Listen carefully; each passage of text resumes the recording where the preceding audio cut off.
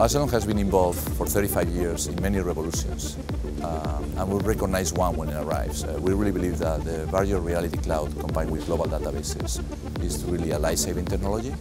Uh, we think that it's not just a five-year event that we will remember, it's probably a multi-decade event, and, and, we believe that this is absolutely the way to go, and it's going to, it's going to make a difference on the field. It's, it's not just cloud streaming, it's also eye tracking and human-based view focus for the streaming. And that gives you high fidelity, extraordinary perceived low latency, and, and especially uh, the fact that you don't have to modify your application. That you are able to run full resolution global databases, multi-sensor, like you were local, like you were connected to a high bandwidth cable. And instead of that, you are actually connected on the network.